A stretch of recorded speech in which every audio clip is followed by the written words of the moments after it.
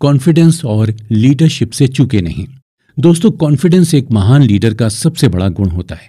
आप इसे उसका सबसे खास हथियार भी कह सकते हैं, क्योंकि इसी के दम पर वो लोगों को मोटिवेट करने और उनमें जोश भरने में कामयाब होता है।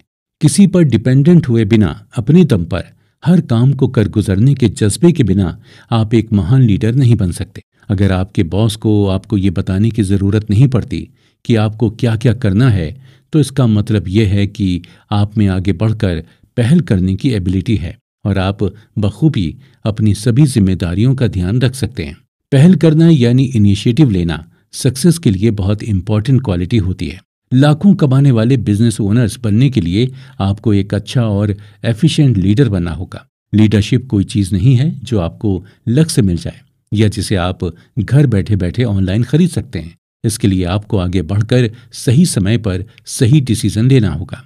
इसका बेस्ट एग्ज़ाम्पल है माइक्रोसॉफ्ट दुनिया के कोने कोने में फैले इस बिज़नेस एम्पायर की शुरुआत दो लड़कों की दोस्ती से हुई थी और वो दो जीनियस हैं बिल गेट्स और पॉल एलन वो दोनों ही प्रोग्रामिंग को बेहद पसंद करते थे और तो और उनके पास इसके अलावा बात करने का कोई टॉपिक नहीं होता था। 1974 में पॉपुलर इलेक्ट्रॉनिक्स मैगजीन में बड़ा ही दिलचस्प आर्टिकल छपा था। इस आर्टिकल ने उस समय तहलका मचा दिया था, क्योंकि उसमें दुनिया के पहले कंप्यूटर के बारे में लिखा था, जो आम लोगों के इस्तेमाल के लिए बनाया गया था। उसका नाम था Altair eight eight zero zero. जब बिल और पॉल ने आर्टिकल पढ़ा तो वो जानते थे कि अगर वो इस मशीन के लिए कोड लिखने में कामयाब हुए तो ये टेक्नोलॉजी की फ़ील्ड में किसी बड़े रेवोल्यूशन से कम नहीं होगा। इसलिए उन्होंने फैसला किया कि वो खुद इसका कोड लिखेंगे। दो महीनों तक दोनों बस इस मशीन के लिए बेसिक लैंग्वेज की कोड लिखने में जुट गए। उन्हें न दिन की सुध थी, न रात की। सबसे मज़ेदार बात तो ये थी कि उनके पास वो मशीन थी भी नहीं, क्योंकि सिर्फ़ कोड बनाना काफ़ी नहीं था।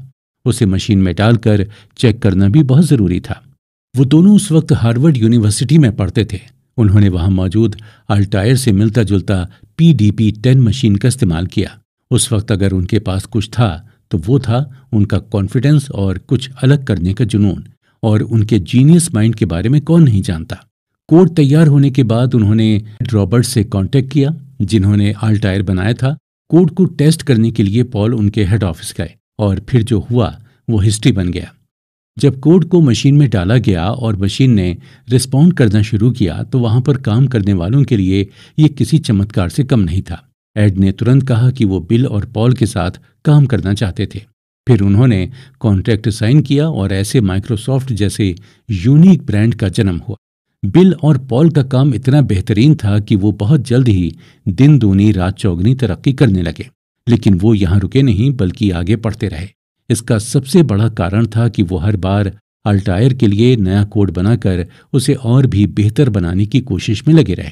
बिल और पॉल सिर्फ़ अपने आइडिया की वजह से सक्सेसफुल नहीं हुए, बल्कि हर वो चीज़ जो उनके काम आ सकती थी, उसे आजमाने का उनमें जो अटूट विश्वास था, उसने उन्हें इतना ऊपर तक पहुँचाया।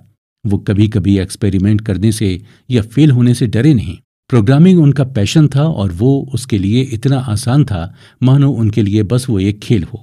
वो लगातार एक्सपेरिमेंट करके नए नए आइडियाज़ और कॉन्सेप्ट्स लाते रहे। कभी किसी ने उन्हें नहीं बताया कि उन्हें क्या करना है, कैसे करना है। उन्होंने जो किया, अपने दम पर किया और इसे ही लीडरशिप कहते हैं।